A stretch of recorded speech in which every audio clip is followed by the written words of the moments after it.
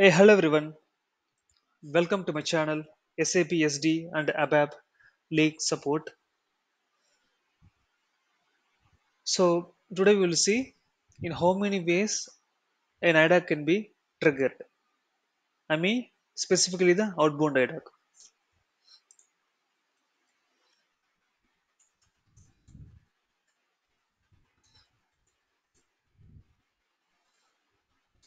So outbound IDOC can be triggered in several ways like uh, with help of a report or by using a function module, help of that uh, message control. There is nothing but output types. Output types and fourth one with help of change pointer technique.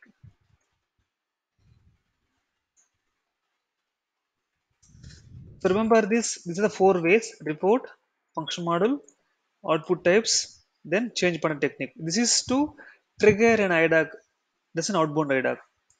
Coming to inbound IDOC triggering. So inbound IDOC triggering can be done only with one option that is function module only. Right?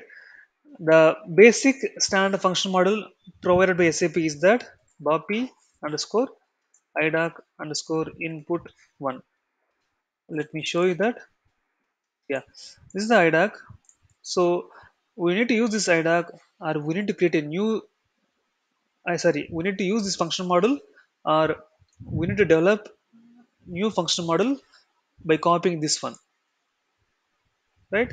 We can't develop any new one. We should always develop it by referring to the existing function module only. So this is one of the input incoming IDOC FM. So we can use this one.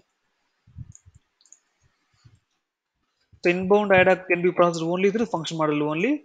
Coming to outbound, it can be processed through any of these four techniques. It's a short video. Hope this will be very helpful to you. And it's one of the interview question as well. Please note it down. Thanks everyone. We will meet in the next video.